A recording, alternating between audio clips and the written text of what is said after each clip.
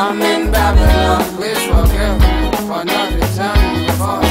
Yeah, I'm in United Kingdom, London, home of Emma McCune. One of the best places to be. They've got good programs here to help refugees like me. I became an accidental rapper. I didn't plan to be a musician. And so I used my experiences in the music.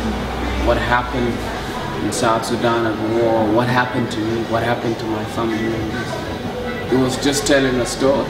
You come to a place, rape the kid's mother, kill their brothers and sisters, destroy the environment. You don't need to tell the kid to do anything. The kid will hear who destroyed this. What are their names? They don't need to be told. They'll hear the stories. They'll know. And from there, they choose their side and they create their own enemy. Sister, I'm in Babylon. Brother, Revenge is very sweet, you know, for that moment. You want that person to feel the, what they did to you. You want them to feel it. Sometimes we do it to the wrong person. But when it actually happened, when you have actually committed and did it, there's the five minute joy. You know, you're happy for five minutes. You celebrate, you know. Then after a while, it's like sex for five minutes, cheating on your husband for five minutes. That moment, it's exciting. After a while, you feel guilty, you feel bad, and you try to find ways to, to justify it. terrorist attack, war in Iraq.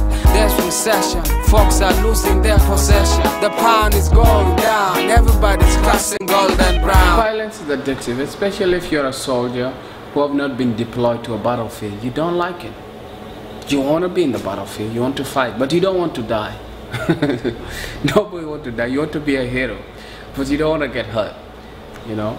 But ceasefire was challenging for me to do something with a Muslim person when I had my own issues behind a long time ago because I hated Muslims, Arabs, I wanted to kill them. But I healed, I forgave because I understood the politics. And so now to exercise that I had to sing a Muslim. And I came to realize Abdul Qadir Salim was an amazing person in Sudan. He has been for human rights. He has been speaking straight because he has seen these atrocities and he has been against them. And so it was an honor to be in the same album with that, with that legend. Sister, I'm in Babylon. Brother,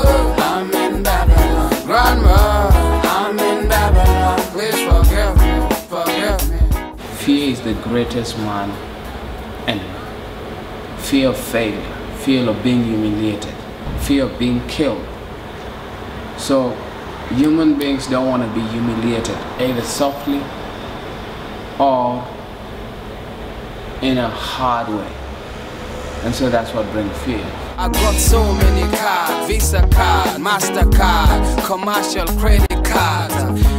Hustler, victim, finding way to survive in the system. It is fear of tomorrow not having enough. If you constantly just want to make money, money, money, money, money, money, is it become addiction. You, you, you still live in a fear that I may lose up everything, so let me keep making more. So everything is out of fear. Success would haven't come if I haven't found good people to help me here. Nyakwad nyarwat in your prayers, pray for UK. Living things depend on one another. And so to make change happen, you don't need one person.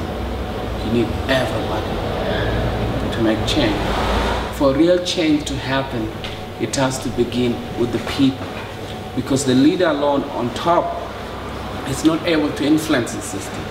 He may not be corrupt, his team will be corrupt. He sacked that team, they have stolen so much, and by the time you're removing the corrupt team, they are more powerful than you. So the next person come, become a popular.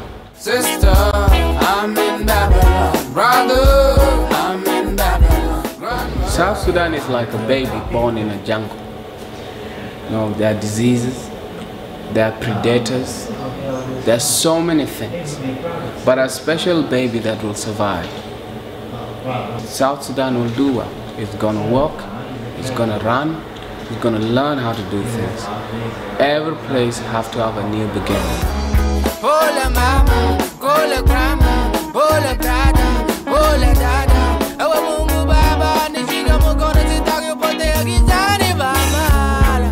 Music is where I become a child.